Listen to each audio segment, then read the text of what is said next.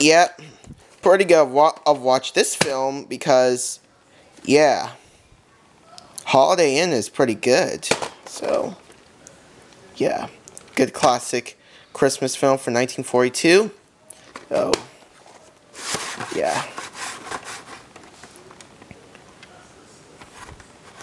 Yes, NES. Yep.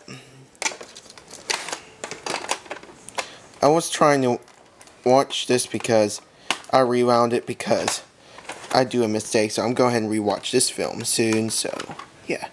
And here's a table looks like of Holiday Inn, starring Irving Berlin's. and was put on the 45th week of 1998. Here's a film I've watched for tonight. Yep, Nutcrackers. I've watched tonight. Good George Blanchy film for 1993. So, starring Darci Kistler, Daniel Woetzel, Karen Nicholas, Bart Robson Cook, Culkin, Jessalyn Coben. And here's the table looks Nutcracker Prince. And was born on um, December 16th, 1998. Well, yeah, but that's it for this video. And tomorrow I'm going to watch The Nutcracker Prince. So, stay tuned.